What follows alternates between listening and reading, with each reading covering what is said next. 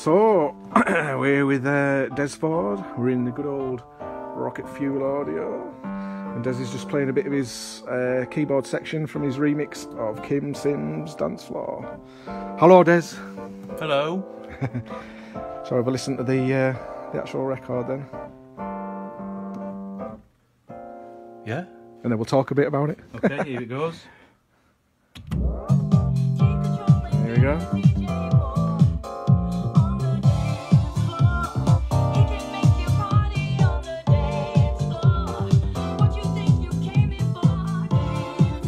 Right, Desi. So, tell us a little bit about how you came about doing the remix and uh, what you sort of use, what instruments you use, and your ideas. Right, well, uh, you contacted me about um, recording some vocals for Kym on a couple of tracks that you'd done. Um, so obviously I'm an audio engineer, so I record a lot, lot of bands, a lot of music, different styles. So yeah, Kym was over here doing some dates, um, and then we got her in the studio for an afternoon and recorded two tracks.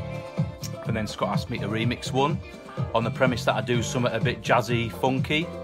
So I think you've definitely uh, you've definitely come forward with that. So obviously, when you think jazz funk, you think 70s, don't you? But you Yeah. don't want to be in the past. You don't want to be um, trying to relive things. Not that I could, because you know some of the music from the 70s is absolutely phenomenal. So I wanted a bit of that vibe. So you know, you think like kind of Fender Rhodes sounds, Yeah. nice kind of funky bass lines. I guess you know you're, you're thinking of. Um, Bernard Edwards and stuff like that, Chic, those kind of vibes. But a modern Yeah. sound, knocking drums. So, you know, recording like classics like your 909, but making them sound a bit more modern. Yeah. Um, nice synth sounds, kind of like space disco vibes.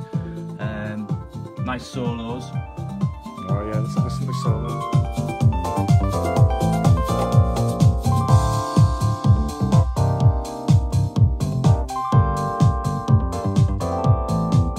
You, yeah, loving it. Very Herbie Hancock style, I guess. Oh, God, well, that's, that's a huge compliment. Percussion, I love percussion on house music. We all do, don't we? Yeah, yeah, yeah. And really, just because um, how it worked in the studio, Kym had some main lines that we worked on together, and then she just did loads and loads of ad libs. So you're kind of like piecing the track up about around what she's improvised, and then from that you get a structure. And I think a lot of people did. that. I know you did, didn't you, when Yeah, you did yeah. yours? Um, so I kind of mapped out the verses and the choruses. They were obvious bits, but then there's all the ad libs and the different sections, like these sections here where there's ad libs that come in. It's Cool. it's- Here's all the space different. noises. Yeah, Let's yeah. have a listen. Bass breakdown.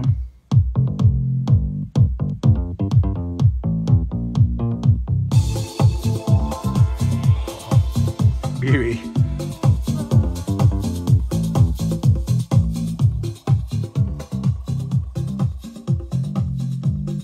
Cool. Just gives it time to breathe a bit, doesn't it? Mm-hmm.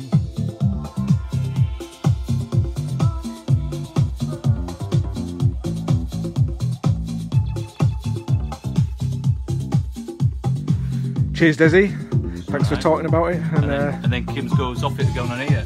Loads of good ad libs.